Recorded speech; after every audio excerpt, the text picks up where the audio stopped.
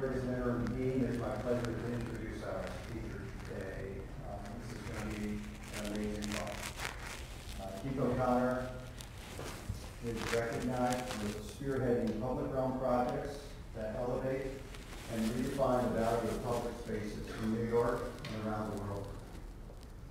Having worked in public, nonprofit, and private sectors in a variety of fascinating roles, Keith has recently joined SOM New York City and a staff of 400 professionals as city design practice leader.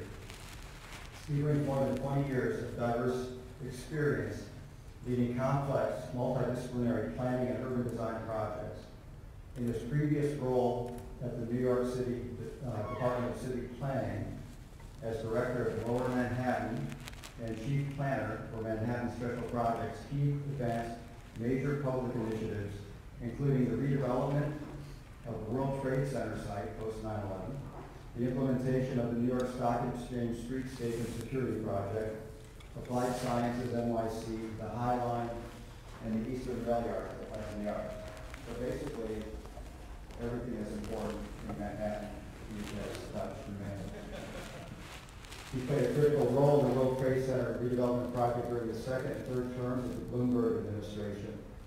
Additionally, he was instrumental to ensuring the preservation and revitalization of the Highline's 10th Avenue spur, shaping plans for the Eastern Rail Yard and Hudson Park and Boulevard, and the implementation of the city's new ambitious East River waterfront esplanade.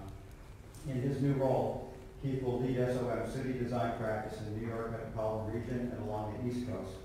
He will spearhead research and projects that address the most pressing challenges facing American cities today, including climate change, resilience, mobility, affordability, and equity.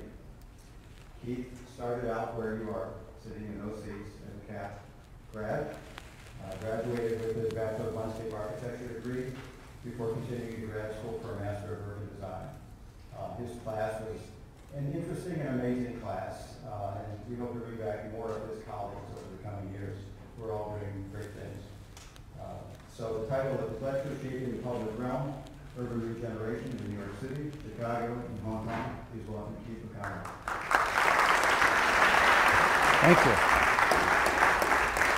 Thank you. Thank you very much for that very kind introduction, Dave. Uh, as Dave said, I, I, I, started here. It's actually great to be back at CAP. I haven't been here in a lot of years, so uh, used to sit in those very seats for lectures, although our lectures were later, so you guys sort of have an advantage here. Uh, it's often got dark up top, and you might doze off once in a while. So try to keep it lively and entertaining.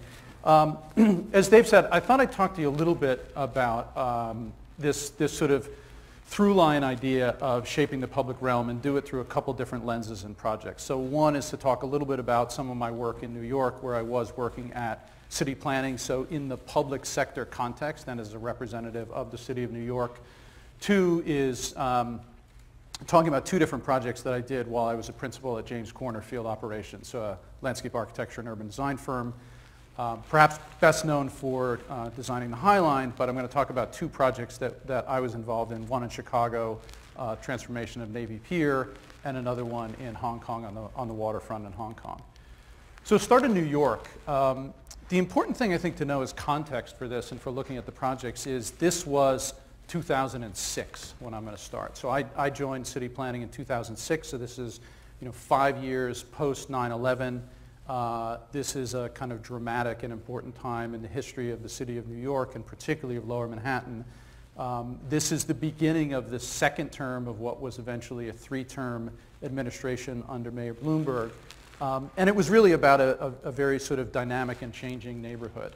So lower Manhattan, in the scheme of things, is actually an incredibly small area. So it's one square mile. Uh, in the time that I was working there, um, our focus area, which was this one square mile, had this incredible investment of public and private dollars in play. So there was at one point about $30 billion of public and private investment that was being uh, undertaken in that, in that very small geography.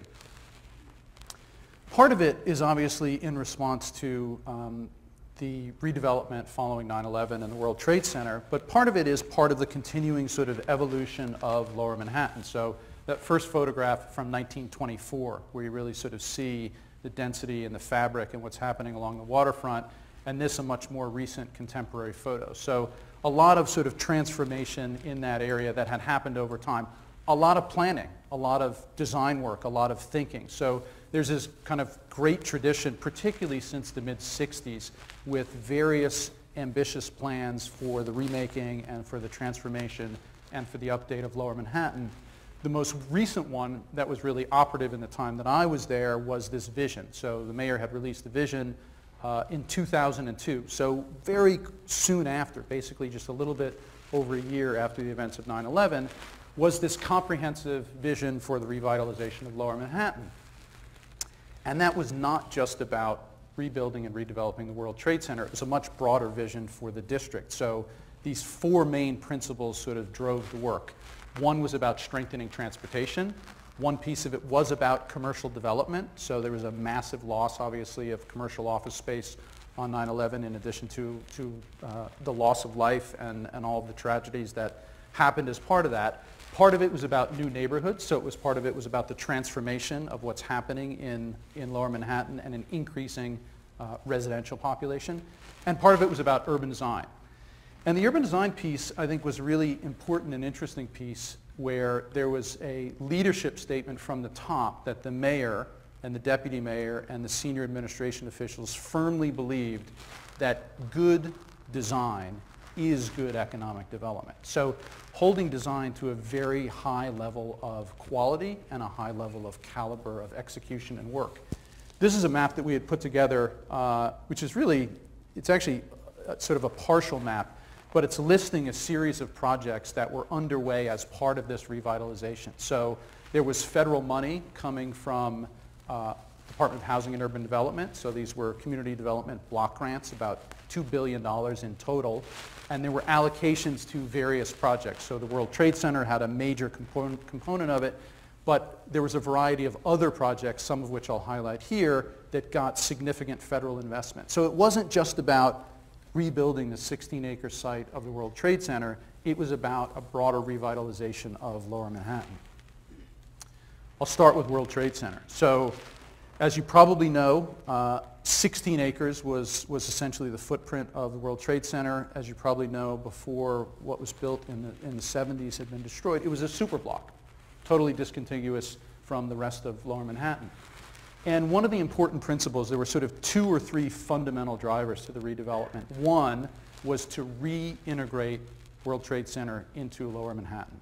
So what you see here is the, uh, the stitching together, this block structure, streets and sidewalks, reintroducing Fulton Street, which is this one, first paved river-to-river street in Lower Manhattan, and Greenwich Street, bringing those two streets actually back through the site in a way that they hadn't existed in decades. The second piece of it was a decision to, to preserve the footprint of where the trade towers were. So that eight acres, so eight acres of the 16 acres was reserved for the memorial. And that was a fundamental decision that then pushed the development to the perimeter. And then the third idea was really about public realm. It was about stitching together the streets, the sidewalks, and the memorial into a cohesive and integrated public realm.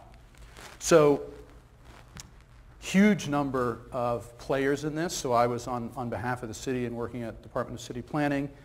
There was the construct for this, which was the master plan that Daniel Libeskind had developed with a set of principles that was the original armature.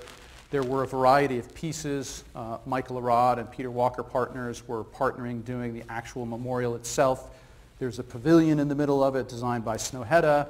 There was an original iteration of the Performing Arts Center designed by Frank Gehry in his office, which is now being realized by, by Rex. So changes of design and ownership uh, throughout the project. The streets and sidewalks was, a, was an EDA AECOM collaboration looking at that public realm. And then there was a retail component, different architects for the different buildings. So one of the things we were doing as part of the public realm uh, was trying to shape parameters for the redevelopment as well. So there was a whole set of detailed commercial design guidelines that were setting parameters for the way that the buildings would work as an overall composition. So we were interested not only in how do you codify and how do you adhere from a regulatory perspective, exert influence on these buildings, on the skyline, on the composition of these as a cohesive whole, um, but also to the elements. So thinking about the integration of the World Trade Center transportation hub. So this is Calatrava design, sort of known as the Oculus, but thinking about it not just as a piece of architecture and as a piece of sculpture and as this sort of wonderful addition to the civic armature that is New York, but also thinking about it as a transportation hub and how, that's, how that fits in and links to the city.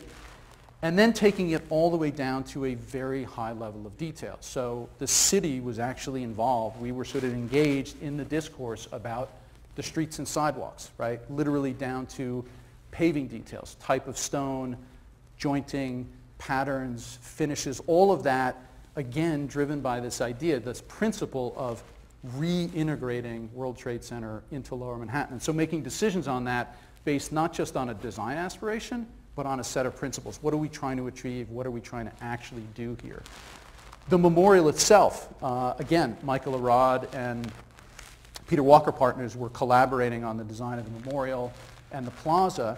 And a big piece of our work was not just looking at and thinking through the details of the memorial. So everything about the, the, the, texture and the quality of the paving to the dimension and the scale of the benches, right? Where this is a seating element, and because it's a memorial, we purposefully have the, the elevation of those stones a little bit lower than is comfortable for a normal seating dimension, so that you're not lingering as you would in a public park, but there's a place to sit and a place for respite, but it's really more of a pause because it's about being respectful to the memorial. Or pragmatic things like lighting of the plaza and the integration of, of security infrastructure and cameras and trying to do that in the, in the least obtrusive way.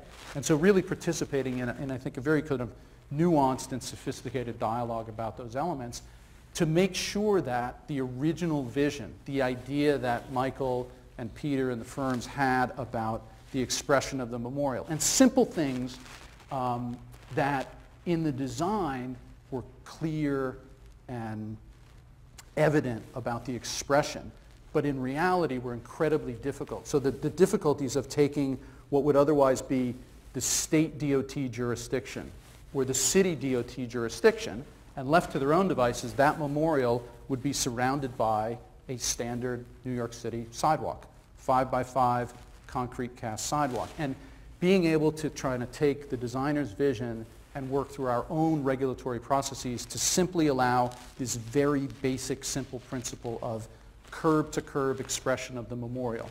The work that we did to try and make sure that those trees there were actually viable, that they, that they weren't made in, uh, unviable by utility conflicts, by subgrade infrastructure, to actually allow there to be enough soil volume to plant those trees to have that expression of a memorial grove. So those were some of the kinds of things that we were looking at, that we were working on, that we were trying to advance. Another project that we worked on, again on the east side, so uh, I mentioned Fulton Street, river to river, Hudson River to East River, was this incredible complex, this, this intersection of Fulton and Nassau Street. So this incredible concentration of historic resources, all these old commercial and mercantile buildings um, that really had an incredible architectural character uh, all kinds of different periods and styles and quality uh, in this historic district sitting at this intersection. And one of the things that had happened is over time, um, particularly at street level retail, uh, there'd been a lot of interventions that, that really did not contribute to or support the architectural character and quality of the streetscape. So as part of the redevelopment, we actually invented a program that people could participate in and get funding to support updates and renovations. So we had a set of design guidelines focusing on retail and store frontage. Um, we actually set up a, a, a, set of principles to understand how we could upgrade and reinforce and enhance and emphasize the architectural quality, and people would actually participate in those programs and get public funding to help support those renovations and updates. So part of the program was about buildings and architecture and storefront. Part of it was about streetscape, rebuilding sidewalks and public roads and upgrading utilities. And part of it was about open space. So it was the combination of these three things that was about servicing the lower Manhattan population, both the commercial worker sector, so about 380,000 public employees working in lower Manhattan, and servicing an increasing and growing residential population. So a series of new open spaces. This was one that David Rockwell designed. Uh, actually did it as a, as a civic gesture of goodwill. Donated all the design services and created from a existing parking lot this great new imagination playground. So it was all about a new idea of play and interaction and taking something in, in a historic district and providing this new amenity to a growing residential population. These were a couple of the other open spaces, again, sort of in a string along Fulton Street. Um, new open spaces, pretty simple, trees, benches, paving, but something that was high quality, something that was green, something that didn't previously exist in that neighborhood. New York Stock Exchange. So uh, a major piece, and you probably remember this, after 9-11, uh, stock exchange was actually closed for about four or five days. Um, and one of the things that the city was very cognizant of was a fear after 9-11 that businesses, financial services sector, insurance industry, real estate industry, would decamp, would leave lower Manhattan. And so what we were trying to do was instill a degree of confidence and to create um, a commitment on behalf of the public to the quality of that environment. So part of it was security. So stock exchange sits right in the middle there. That's the stock exchange. And this is the perimeter that was essentially established around the stock exchange. Immediately after 9-11, NYPD came out, dropped big concrete barriers in the streets. They literally parked. You can see the police car and that, that red pickup truck. They filled the trucks with sand and cobbles to make them heavy, and they drive back and forth and create a kind of barrier. And so part of the project was to say, is there something we can do urbanistically that provides this security function but does it in a more amenitized way, in a way that fits in with the streetscape. So it was this idea, uh, this was a project led by Rogers Marvel Architects, to combine these kind of three ideas, the Jersey barriers, these big concrete planters, which people usually put out, put a big heavy thing in the way, and came up with this idea of a, of a no-go, so a heavy concrete, but a, but a sculpted element, something that sits in the landscape and basically took each of these intersections, created a highly functional, so for those of you in the, in the security know, uh, oops, sorry, that's a, that's a sally port configuration, right? So you open the front end, you let a vehicle in, you close it, vehicle can't go anywhere, you do your inspection, when it's cleared you open the back end, they proceed through. So this was an idea about creating something that sat in this kind of incredibly important urban environment. This is a classic view, literally looking down Wall Street at Trinity Church, and on the left, some of the temporary installations of these clamshell devices, and on the right, what the team had come up with, which was a turntable device, not unlike what's used in, in, in theater or, or for uh, you know, switching in rail cars, uh, a turntable device that had these robust physical elements on them, but they were a part of the urban landscape that had a, that had a design to them, that had a materiality to them, that really kind of served as an amenity and not just security infrastructure. At Wall Street, so right in front of Federal Hall, uh, so the original Capitol before U.S. Capitol went to D.C. was in New York. That's a statue of George Washington who took the original oath of office there. And subtle things like the pattern of the paving right in front of Federal halls in a radial pattern that radiates out from the statue of George Washington. You can see in the, in the lower part of the image here, these little squares in the sidewalk are actually wood block paving to mark Wall Street is named for what was a historic wood stockade. So sort of marking that interpretive element in the sidewalk, telling some of the story of the history of New York. Or on the right-hand side, uh, this, this curb element, which was Broad Street. Broad Street is broad in New York because it used to be a canal from, from New Amsterdam. So having some of those interpretive elements designed into simple things like paving and streets and sidewalks. And then the last one I want to touch on is East River Waterfront Esplanade. So this was, this was the biggest, what we called off-site allocation. So $150 million, not dedicated to World Trade Center, but dedicated to waterfront access. Um, this was all about creating connectivity. This was all about creating amenity. This was all about getting people to the waterfront.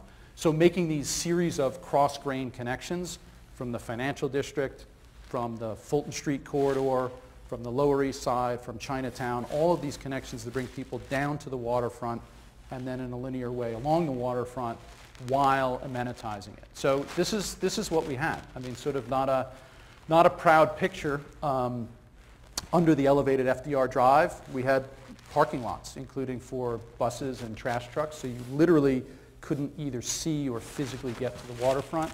Uh, we weren't utilizing that waterfront, we weren't capitalizing on it, and this project was all about remediating those issues. So this was a, excuse me, this was a project led by SHoP architects and Ken Smith, landscape architects, and a, in a collaborative and team effort. These are images of a number of the improvements. So there were esplanade improvements. There were a number of piers that were provided to be upgraded. There were upland connections and plazas that brought people to the waterfront that were part of this project.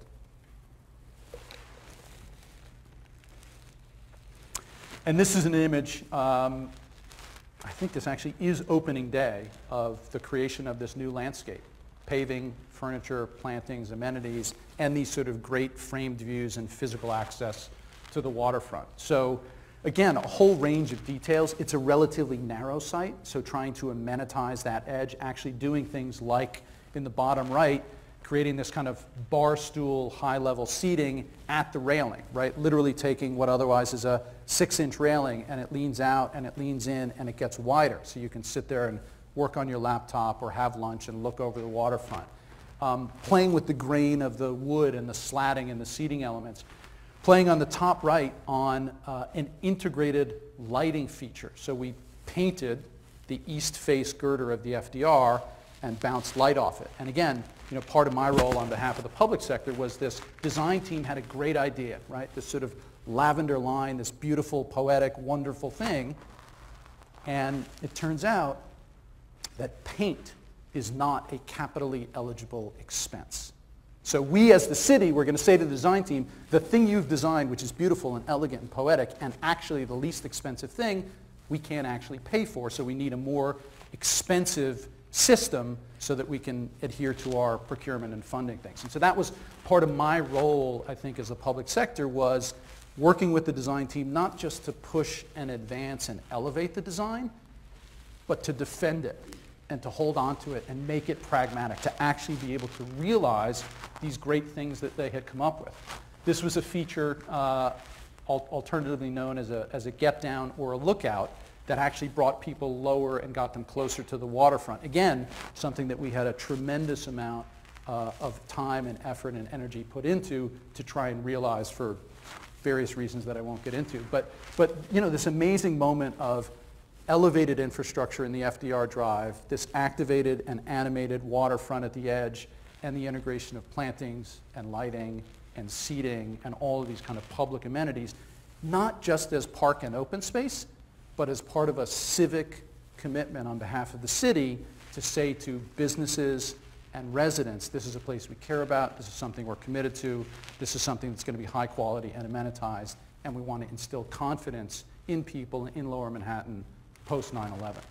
So a range of projects, others which I won't get into tonight, but I think this, this, this sort of idea about the role of the public sector in shaping the public realm, not just for the purposes of great public space, but for this broader aspiration that had everything to do with instilling confidence, economic development, and really sort of recovery from uh, the traumatic events of 9-11. Talk a little bit about Chicago. So this was a project that I did while a principal at James Corner Field Operations. So this was actually being more active on the design side as opposed to my role working for the city. Um, and it was as much about civic aspiration as anything. Um, so what you may know and probably sort of recognize, but was very evident to us in working on this project, is our client was Navy Pier Inc., NPI, which was a purpose-created organization that was a subset of the MPEA, the Metropolitan Pier and Exposition Authority, which is the authority that runs McCormick Place. So they run McCormick Place, they run Navy Pier, but because they're in the convention center business, that's how they think about it. That's what they do. And one of the things that was really interesting to us is when we got involved, um, it was one of these projects that was driven by an aspiration, not by a pressing need. So Navy Pier was and is the most visited tourist attraction in all of the Midwest, 8 to 9 million people a year. People are coming, it's fine, it's successful.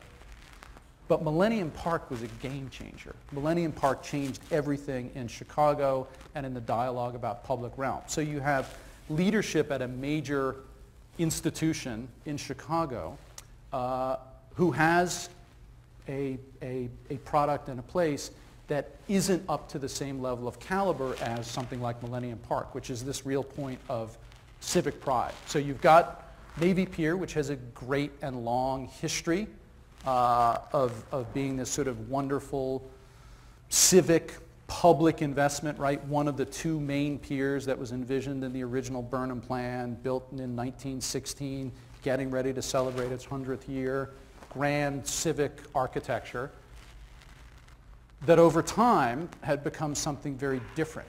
Um, and was, again, people are coming, it's successful, they visit, but really didn't have the same level of quality of caliber. And so that was the assignment, was really to sort of elevate Navy Pier to this point of civic pride again.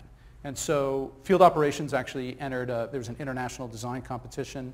Uh, field operations was the winner of that and developed an overall vision and then, and then executed a number of projects. So, you know, it's a massive site. I'm sure probably everybody in this room has, has been there. Um, you know it, you recognize it, and there were a few things that sort of drove our design. One was about integrating the city and the pier in a more cohesive uh, and, and closely linked way. Part of it was about greening the pier, bringing some of the park and open space and greenery that was in Gateway Park out onto the pier. Um, and part of it was a kind of systematic addressing of all of these issues and deficiencies and sort of linking this into a cohesive public realm. So the, the, the structures on the pier, these pavilions and these kiosks that service for food and for vending and for the, the tour boats, uh, the furniture and the sort of integration of those elements in a well-designed way, the plantings, the greenery, the horticulture, uh, and the paving, the surface, literally the sort of texture of what you experience. So couple before and after shots, uh, you know, really taking the primary colors that were, that were evident in so many of the um, festival marketplace environments. So Boston Faneuil Hall, South Street Seaport in New York, Baltimore's Inner Harbor, Chicago's Navy Pier. They're all the same kind of language, and as, as you probably know, all literally designed by the same firm over time. Um, and really kind of changing that and bringing that up to a more contemporary standard. So bringing greenery out onto the pier, changing and upgrading the architecture. Um, this whole notion about pulling the, the language and the axes from the city out onto the pier and reinforcing that. Um, we did a lot of work to bring greenery and to, to bring plantings out onto the pier, including literally cutting giant holes in this 100-year-old uh, pier so that we could get in robust soil volume so that we could have that serve as part of the stormwater management system, that we could make sure that these trees that we're bringing out onto the pier are going to be robust and vital into the future. Um, we worked as part of a big team. Field operations was actually the lead on this, but we had a huge team of consultants from lighting to signage to civil engineering to horticulture to architecture. So, nArchitects out of Brooklyn, New York worked with us on this feature called the Wave Wall, which was all about mitigating the grade change between South Dock and Pier Park in this great sort of undulating, wonderful sort of feature that blended inside and out and that transitioned these upper and lower levels of the pier. So a few views of the wave wall, both as a sculptural and articulate element, as a place for public gathering. So this is where everybody kind of sits and watches the fireworks. Simple things that we did like before we got involved, there were, there were boats all stacked up along the pier. So if you went there, you could walk half the distance out on the pier and never actually see the lake because your view is blocked by all of these boats that are parked there. So actually taking an area and creating a zone where that's open and accessible and you can have an open view to the waterfront. So this, this kind of very simple thing, but that became an important driving principle about the experience of going to the pier and being on the lake. You know, I think we had a bit of an advantage coming from New York that you, you, you go, you get used to it, you guys get used to it, you go there. I mean, Lake Michigan is extraordinary. It's amazing. Um, and really wanting people to see and feel and understand that and that be a visceral part of the experience. Letting people actually get up to the edge. There was a six-foot utility trench. You couldn't actually get to the edge of the pier. And so silly and sort of stupid and pragmatic things, but like redesigning the utility trench and putting in a grate and putting an edge that actually invites and allows people to get to the waterfront edge and to do that in a way that is safe and accessible and appropriate. Um, this play, nArchitects had this great idea about sort of folding the, the roof of these lake pavilions, as they called them. So this is aggregating ticketing and food service, having it under a canopy, which provides some shade, which is important in the heat of summer, reflecting the water and the color and the movement and the animation. All of these kind of simple things, but I think executed at a very high level uh, of resolution.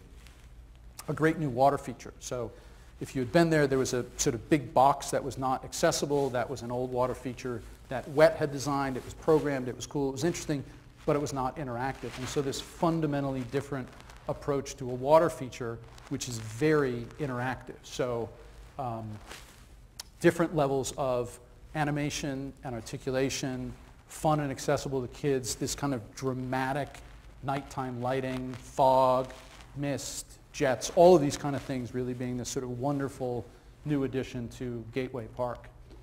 Um, and the articulation of, of, of, classic sort of features of landscape design and, and the obsession about the detailing, whether it's, whether it's a step or an ADA access ramp or a bench or a planter or the paving. Really just sort of paying a lot of attention to the, to the detail and the materiality uh, and the resolution of those things. Again, this is that, that edge that I talked about, this utility, oops, keep pressing on the button, sorry, this utility grade edge um, and, and, and dealing with that and designing that as an important part of the overall landscape design, something that's very pragmatic, um, something that's very practical, but really treating it with a degree of, of care and attention lighting and nighttime and the sort of drama of that. So we worked with a great team, L'Observatoire, uh, who's done sort of wonderful lighting and the character and quality of that nighttime environment and really being very conscious of that and the way that it plays out. So again, sort of an interesting one for me to think about an institution, a nonprofit institution who is motivated by elevating their asset to a level of civic pride, of integrating that public realm, of capitalizing and taking advantage of some of the great uh, cultural anchors that are at Navy Pier, the Children's Museum and the Shakespeare Theater and, and some of those places and sort of how they interact with that, um, that, that sort of great civic armature. Hong Kong. This is interesting for me. Um, it's a private initiative private company that wanted to redevelop a major waterfront project.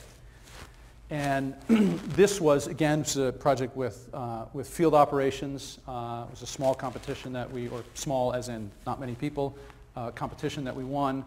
Um, 12 acres, public realm, right on the waterfront in Kowloon. So if you've been, this is the picture postcard view of the skyline of the island of Hong Kong. Our site is the place from which all of these photographs are taken. So this is the southern edge of the Kowloon Peninsula, the TST, the Sha Tsui waterfront, um, that all of this sort of remarkable phenomena of the Hong Kong skyline, the nightly um, laser light show, if, if you've seen it and been there, that's put on. Um, this is the site from which all of that happens. So the Star Ferry Terminal on the west side, the Avenue of Stars, which is Hong Kong's sort of equivalent of the Hollywood Walk of Fame, uh, the Art Museum, the Cultural Center, and our, and our client's piece, which was this New World development site. And so they were interested in a major new mixed-use development, but they were also interested in a public realm, an upgraded and enhanced public realm, which is, I had not worked there before. Uh, it was new to me, but, but that is a, that's a sort of radical concept in, in Hong Kong to sort of focus on high quality public realm. So we had the opportunity to analyze and to evaluate and make a set of recommendations on redoing this Avenue of Stars and Salisbury Garden, which is this piece over here. Um, not unlike Navy Pier, it's popular. People come there. You can see the view. You, you could sort of, you could do almost anything, including literally put up barricades to try and keep people away, and they'd still come. Doesn't mean it's a great place, doesn't mean it's high quality. So it's hot, It's crowded. There's virtually no amenities. You can't actually get to the edge. So the, the uh, Queen Victoria Harbor is one of the world's great harbors, and there's just a fantastic um, array of, of cruise boats and working waterfront, and it's difficult to actually get to the waterfront. Not to mention, um, when we started, it was in pretty deplorable condition, so it needed to be rebuilt. So part of this was an evaluation that says, well, what, what can we actually do and how can we address this? So it's a relatively limited footprint that we were given. It's existing overwater coverage, inaccessible edge, uh, because people pack two and three and four deep at the edge to watch, to look at the skyline and to watch the show, uh, it's actually difficult to see. You get sort of back a few rows. So we had this principle that says, how can we, how can we play up that? Can we get people actually closer to the edge? Can we enhance the views? Can we create subtle changes in level? Can we give different perspectives to, to look at and to view the harbor and the skyline? Um, and part of this became a very important analytical undertaking. There's people who, regardless of its condition, didn't like change, didn't want to change. It's something that's been there forever. And so this kind of analysis of talking about what the changes that we're proposing would actually do and how it would actually enhance transparency and why they should consider making those modifications. We originally wanted to expand the footprint. We wanted to build out. We wanted to increase the, uh, the space available for, for public realm. Um, and eventually we weren't allowed to do so from a regulatory perspective. No new overwater coverage. So, but trying to hold on to that concept and that edge and doing dozens of iterations to try and figure out can we eke out a few more feet? Can we build a little bit more capacity? And can we do that in a sympathetic and designed way? So on the one hand, these, these highly refined details about the angle and the view of transparency, the dimension of access at the edge, and on the other hand, this big move and this sort of diagram of what does this mean for this one and a half kilometer waterfront and how is that playing out as a broader system. And so this is the, the vision that we eventually came up with with a new revitalized Avenue of Stars, uh, the mixed-use development, the New World Center, which actually is in the process of opening right now. Um, this is one of the viewpoints. So this, this kind of sculpted edge, these amenities, shade structures, seating, plantings, greenery, this sort of sculpted uh, edge and experience, this terrace level where we have benches and seating at different height to get at that kind of baseline diagram of improving and enhancing the experience of people at the edge. This, this you know, incredible view, this undulating uh, railing and this, and this sort of scalloped edge playing on, on, on the wave action and the movement in the harbor. Um, these overhead trellises, these fantastic things that, you know, again, we as, as landscape architects designed and modeled in the studio and had a fantastic and amazing team of structural engineers who helped to realize our vision. So, you know, an aspiration that we were actually able to realize in a, in a high degree uh, of specificity.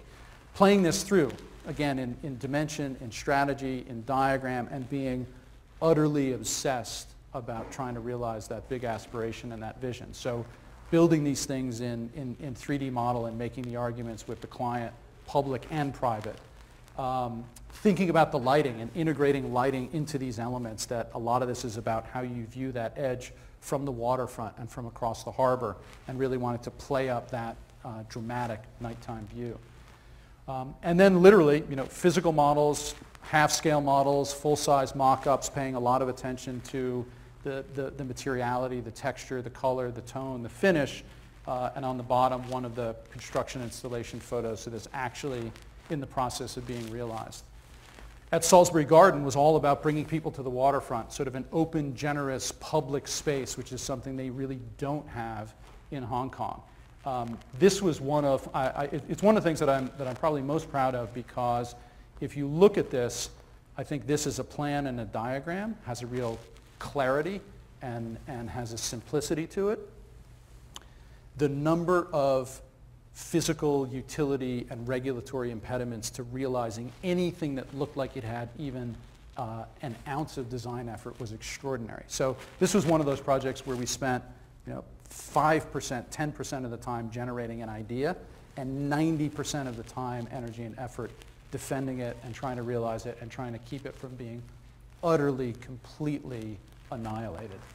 Um, but it being all about this incredible thing about coming down from Kowloon and actually seeing and experiencing the waterfront, which wasn't always the case, and in fact was blocked for much of its history. So, so having this civic space, um, again, playing that out, celebrating that with this kind of great waterfront canopy that provides a, a stage set and a viewing port uh, platform and a kind of spatial definition.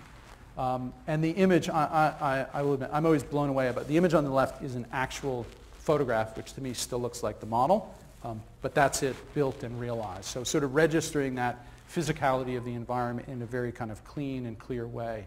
Um, and, and doing it in a way that accommodates art and sculpture and creativity, wrapping these very pragmatic utility buildings, which is all kinds of things coming up from below, and making them an architectural statement, and having a landscape architecture team lead a vision that really is in many ways about architecture and facade and expression um, but it really being about that, that, that sentiment and that sensibility about the public realm.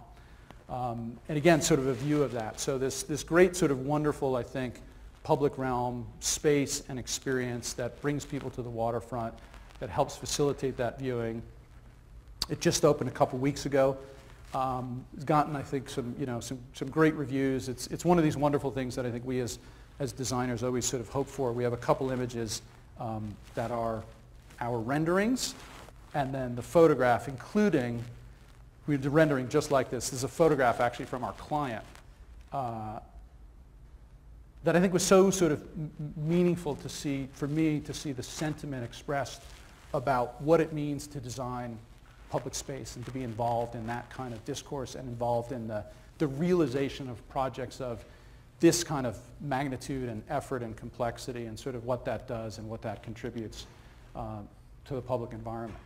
So New York post 9-11, Chicago Navy Pier transformation, Tsui waterfront in Hong Kong, that I think are very different contexts, very different clients, but what I think is sort of consistent and uniform and runs through it is this commitment to a level of quality, this interest in, this, this recognition of the value of public open space, uh, the importance of the big idea, the diagram, the relationship that you're trying to achieve, and then just a relentless obsession, I think, to the things that, that drive probably all of us in this room uh, about realizing design at a very high level of character and quality.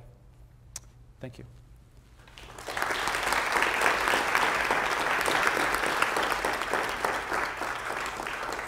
So, so we, have a, we have a few minutes. If there are questions, I'd be happy to, to try to answer them or to talk about more if anybody has questions.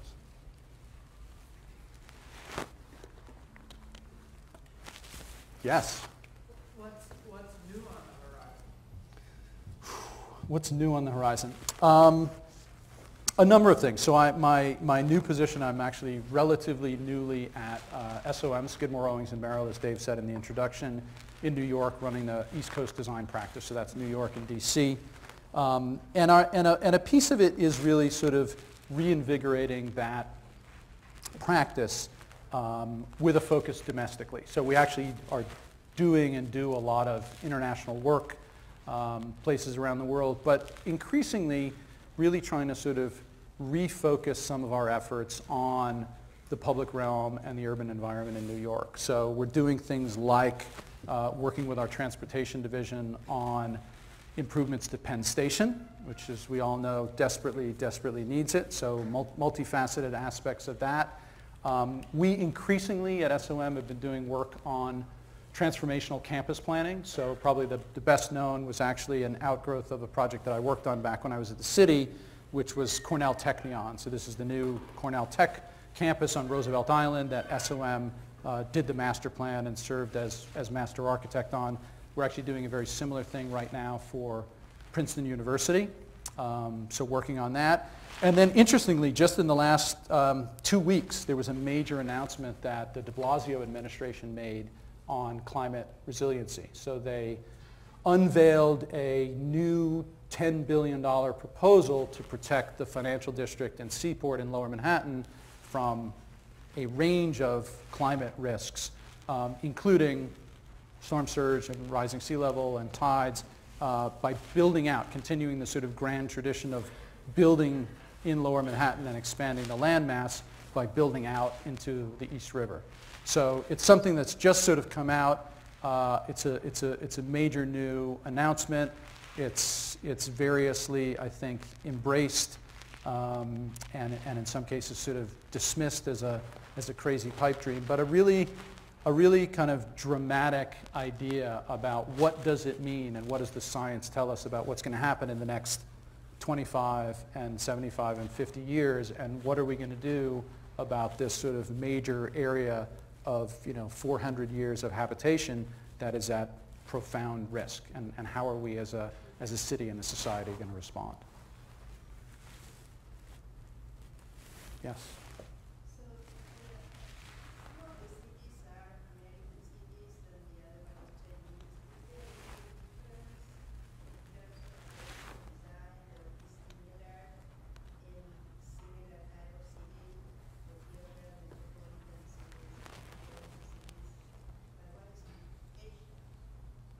Yeah, it's, it, it's interesting because um, in many, it, right, it's a, it's, a, it's a profoundly sort of different geography and climate, and there's an aspect of it that's actually a very interesting dynamic because, um, you know, our, our Hong Kong client came to visit us in New York, and we took them around and sort of toured them around the waterfront, and they said, like, this is, you know, this is amazing, extraordinary, and we, we, we could never do anything like this.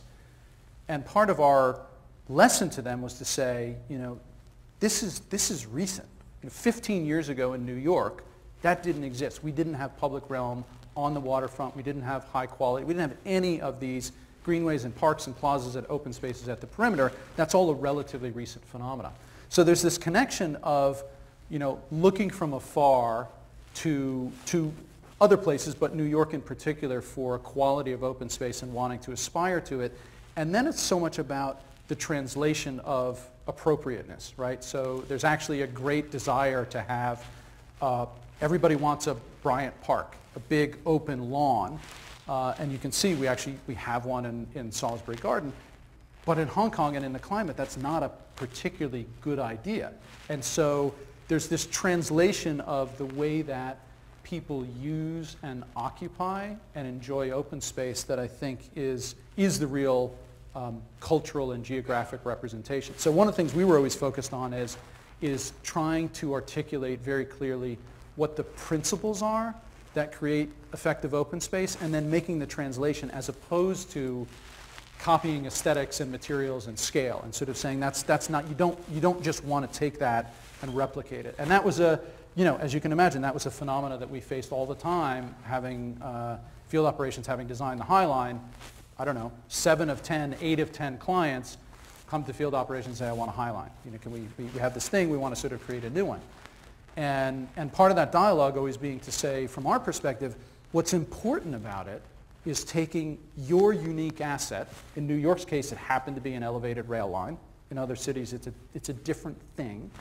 Um, treating it with respect and admiration and having something be place specific as opposed to those peel up benches are really cool. We love those planks. Let's, let's get some of those. And so I think it becomes this, this very interesting dialogue about trying to ground public open space in the traditions and the geography and the aesthetics and the use patterns of that particular place and culture. And, and for me, that opportunity to sort of be working in New York and Chicago and Hong Kong at the same time was a, was a very sort of enriching opportunity to sort of um, play that out in these very different contexts at the same time.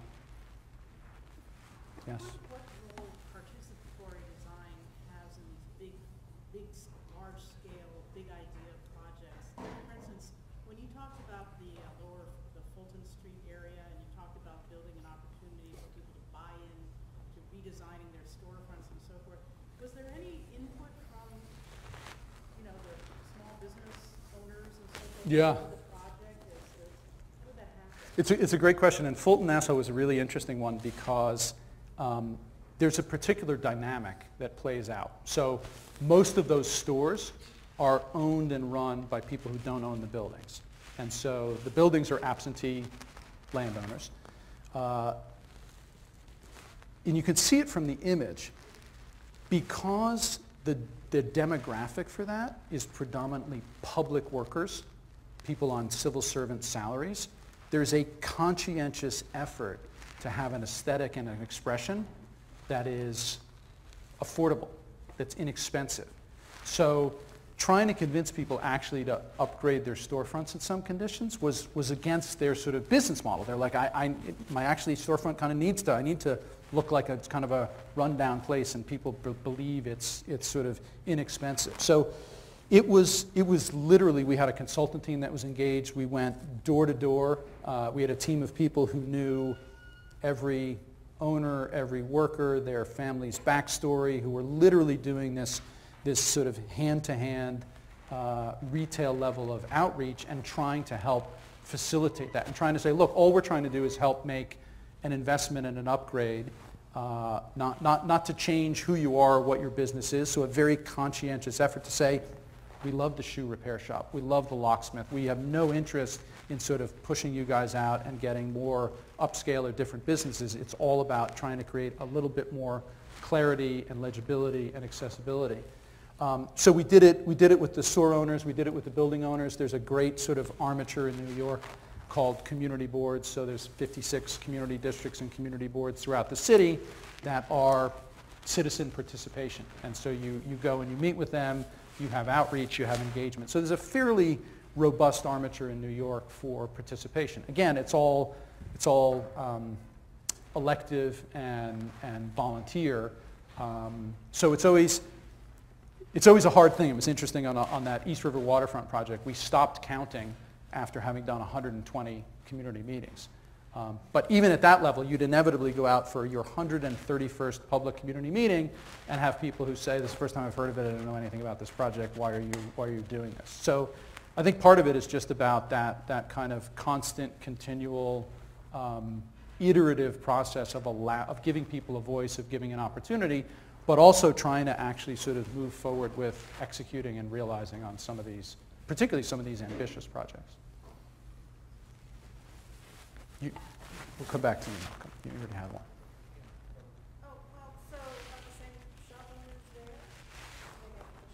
Many of them are. I mean, what was so interesting about so I, I just have to give you context because it blew my mind. We had three levels of involvement. So the city of New York would show up, and at the lowest level, there was an incentive, $15,000 worth of physical improvements to your security grate, to your signage, and to your awning. No cost to you. So City of New York will pay $15,000 worth of physical improvements, will pay for all of the architecture and engineering services and all of the permitting and approval services. You just have to agree to do it. $60,000 worth of effort on your storefront. So the glazing, the door, the window frame, sort of doing that, that retail at a two to one match. Two public dollars for every one private dollar. And if you were treating your entire facade, you could get up to $150,000 worth of value, physical improvements, plus architecture, engineering, permitting. Even at those levels of incentive, it was incredibly difficult to get people to participate. So we had some success. We, had, we updated the shoe repair and the locksmith and the eyeglass and probably, I don't know, probably two, two dozen storefronts where they're there, they're still there. We sort of achieved, I think, the, the project objectives. Um, interestingly, the other thing that happened is the private marketplace, by and large, did a lot of what we were hoping to do. So in places where there were vacant storefronts or where there was turnover, there started to be this level of um, expression, not regulated, but, but just sort of a kind of character and quality that started to be realized throughout the district. So uh, it was a really interesting sort of project and, and, and lesson for me, I think, on balancing the financial incentives, which in this case were incredibly significant, with the underlying dynamics of businesses, ownership, participation. I mean, some people just, you know, it's going to take time. To, I'm gonna, I'm not, my business is going to be closed while I'm sort of fixing my facade. And for some folks, sort of operating right on the edge of solvency, even something like that can be incredibly disruptive.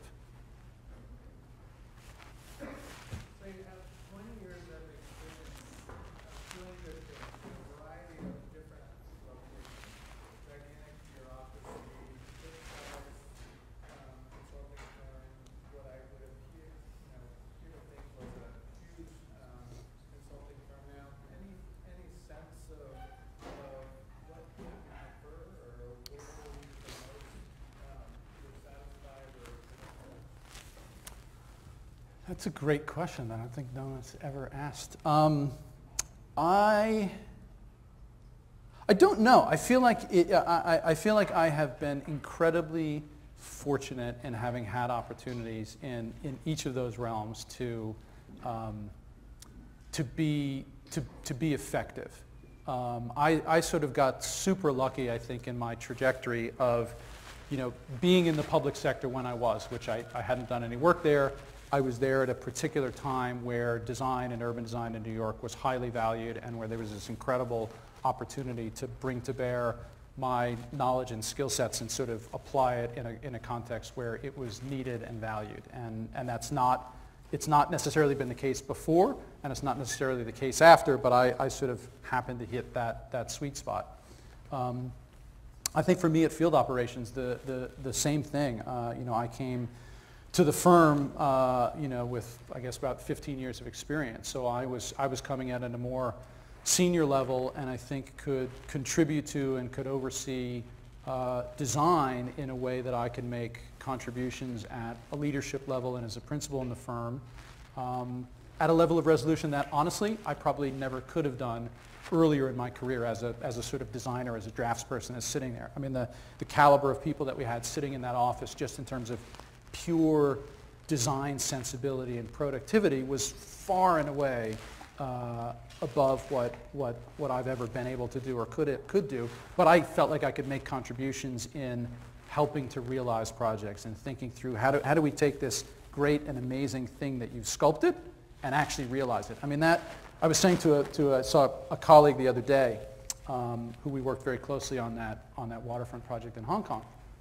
And I said, literally, that sculptural cladding, uh, every time we drew it, every time we modeled it, every time we have a meeting, I thought, this is the one. This is it. Value engineered. We're, we're, it's never going to be ripped. There's no way anyone's ever actually going to build that. And to see something like that actually realized, and again, I think that was part of what, what I did and part of what our team did was, was continuing to sort of build and explain and justify why we needed to do that and why that was important and, and why that, that, that sculpting, that, uh, that design expression was so important and would make such a, contribution. So I, I don't know. Uh, I, I, think I've just been super fortunate in, in, sort of falling into the right place at the right time where I feel like I have been able to make a meaningful contribution in, in very different contexts, in a, in a nonprofit context, in a, in a public service context, and in a you know, traditional landscape architecture and urban design firm. Did you mention that you were working on the Hudson Yards project as well? I did. So when I, uh, when I was at the city, I was part of a team that was, um, that was working on the zoning parameters for Hudson Yards. So eastern and western rail yards. Um, if you've been tracking it, Eastern Rail Yards is sort of the piece that just opened recently as this sort of massive new development. Um, so I was involved in that uh, early on um, in part focused on a, a, piece of the High Line that was initially proposed for demolition. So it's a very interesting dynamic that you had, you know, the High Line overall originally, which was proposed to be demolished, and then was, was saved and repurposed, and I think everybody sort of sees it now and says, how could you even have contemplated that? But, but interestingly, um, you know, 10 years in, there were thoughts and proposals after the great success of that to say we have this other piece of it that's kind of an annoyance and kind of in the way and it would make the redevelopment of this project much, much better if we just got rid of it. And so I was part of the team on the city side that was tasked with trying to find a way and a construct to allow the development to proceed and to ensure the preservation and adaptive reuse of that section of the High Line as part of the 10th Avenue spur.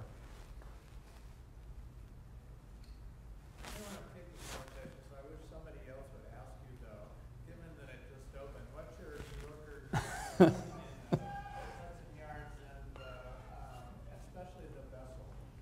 vessel. Well, man, that's a tough question.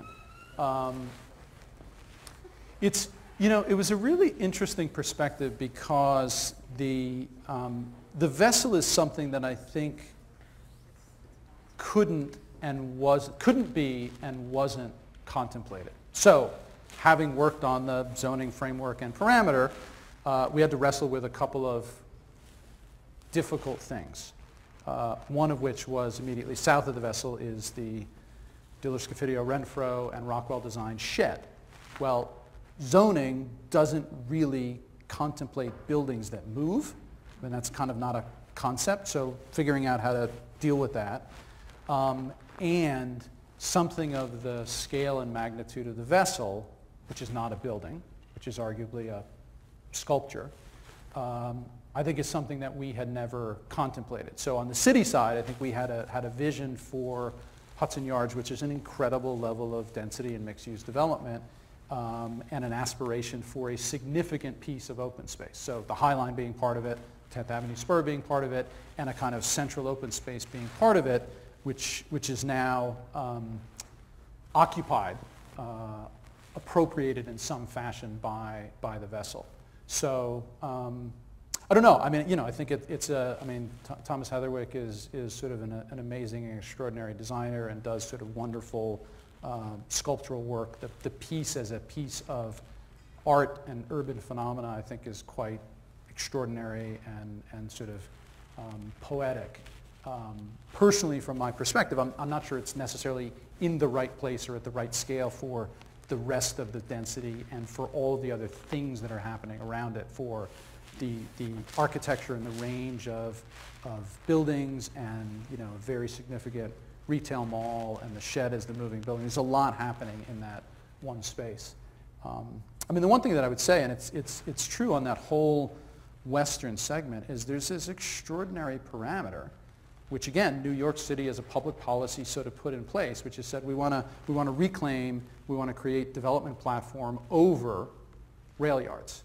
And we, the public sector, we're not paying for any of it, right? So we asked private developers, in some cases, to spend a billion, a billion and a half, two billion dollars to get ground on which they could then start to build. So to incentivize that, to someone to get, to, to, to have someone take that kind of risk, to literally spend a billion and a half dollars before you can start spending another billion and a half dollars to build your building, to eventually lease it up and, and make some financial return is a, is a, you know, is a, is a tall order and a real um, challenge, I think, to sort of get the right balance. All right. Well, listen, if, if other people want to chat, I'll hang out. We can talk. But otherwise, thank you guys all. Great to be here.